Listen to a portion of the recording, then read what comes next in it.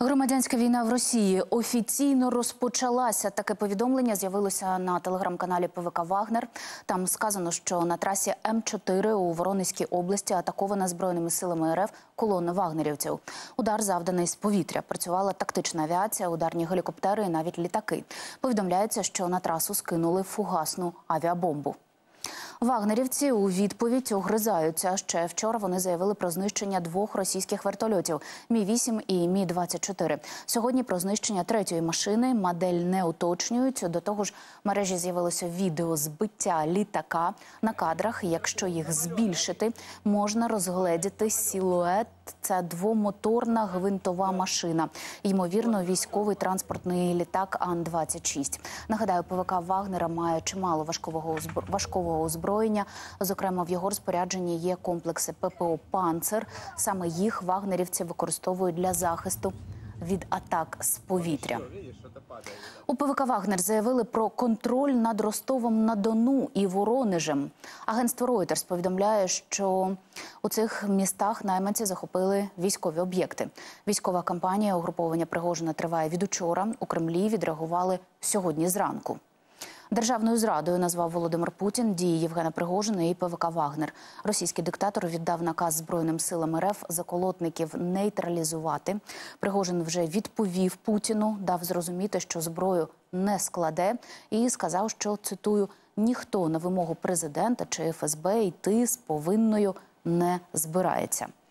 Нагадаю, п'ятницю ввечері Пригожин заявив, що армія Росії атакувала тилову базу Вагнера ракетами і фактично оголосив війну міністра оборони Сергію Шойгу. Як розвивається конфлікт? Дивіться у сюжеті Владислава Політа. Война была нужна не для того, Війна була потрібна не для того, щоб повернути до нашого лона російських громадян, і не для того, щоб денацифікувати та демілітаризувати Україну.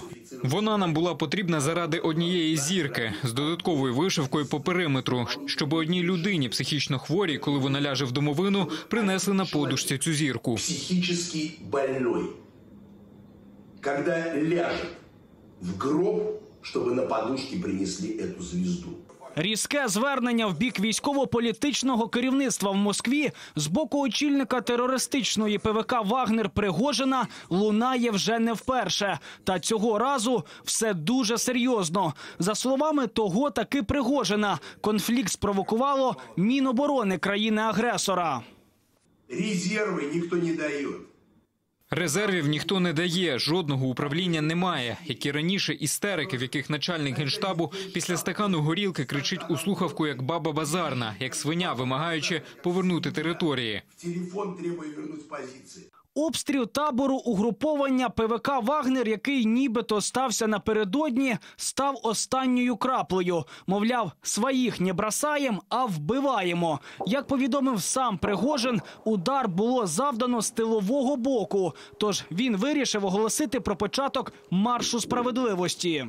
Міністр оборони спеціально прибув до Ростова, щоб провести операцію зі знищення ПВК Вагнер. Він використовував артилеристів і пілотів гелікоптерів у темну, щоб нас знищити. Це не військовий переворот, це марш справедливості. Нас 25 тисяч, і ми йдемо розбиратися, чому в країні відбувається такий безлад.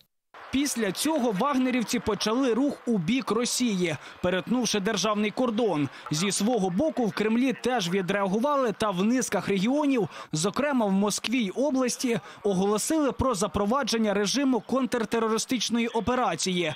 В міста стягнули техніку, а також підняли по тривозі російський СОБР і Росгвардію. Водночас у соцмережах і телеграм-каналах ширяться відео колон техніки вагнерівців. До слова, низка ЗМІ навіть охрестили рух пригожинських бойовиків походом на Москву. А сам Пригожин закликав російських армійців переходити на його бік. Більшість військових нас підтримують. Надходять нові повідомлення. Дякую, хлопці. Нарешті.